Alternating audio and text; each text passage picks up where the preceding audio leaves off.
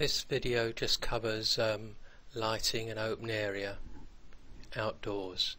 I'm going to start with um, a new exterior scene which um, can be done also from the welcome window and uh, the area I'm going to set up is uh, 30 meters by 22. I'm going to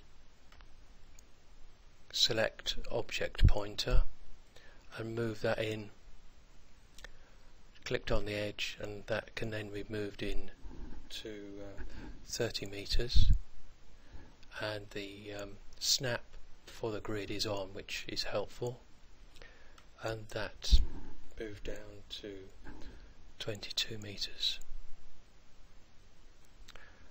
Letting go and um, I'm going to look look to have that in the full CAD window and therefore I'm going to click on overall view of scene. Just need to click back into that window to get that to be a solid line on the boundary click. And I'm just going to pull in slightly on that so I can see the boundary. That's the um, the ground element set up. And next I'm going to select the uh, luminaire from the luminaire selection tab. It's going to be a Whitecroft uh, luminaire that I'm using in this example. And um, it's a post-top lantern. And uh, its name is uh, Sirocco Spoke. I'm going to choose the 70 watt version. Use and exit from the database. There the luminaire is available.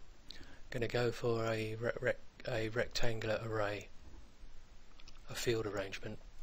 Clicking on that. Mounting tab. The actual mounting height I want to be 4 meters rather than 3.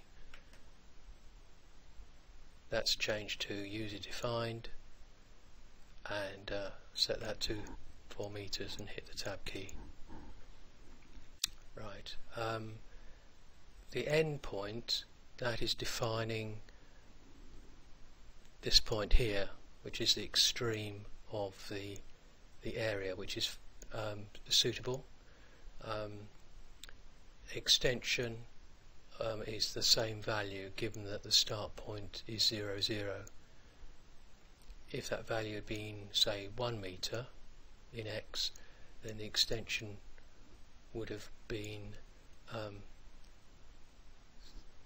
20, 29 right.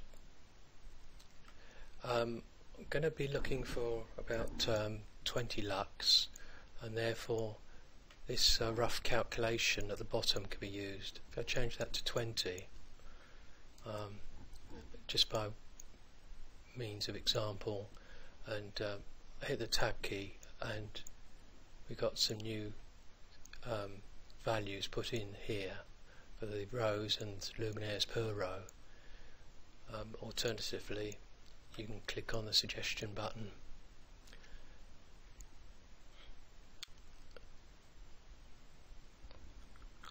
right now if I wanted to um, have slightly more than that I could put in say three three rows um, by four. These values actually haven't uh, re responded to that change but if I say put in 25 and hit the tab key you can see that um, 3 by 4 is, is holding on that value. So um, I'm going to it's a matter of experimenting with that but the rough calculation is quite a powerful um, tool for um, finding out what the layout needs to be for a given um, illuminance target. Insert button. There's the array where you've got half spacing to the boundary and now I'm in a position to um, start a calculation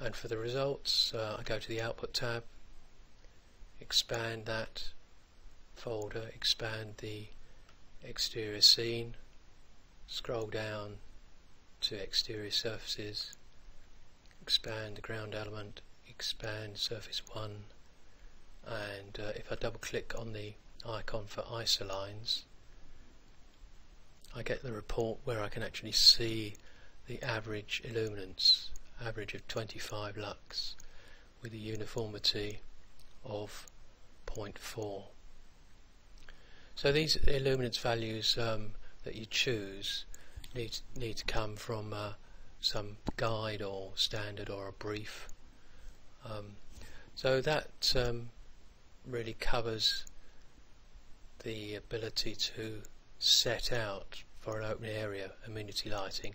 If the area had not been um, a regular rectangle, um, at the initial stage one could go to the boundary, do a right click and edit the ground element and right click again, insert a point. And that would enable me to say take off a corner. So the right click is quite important to adjust adjust the boundary. And to finish that off an OK is given. OK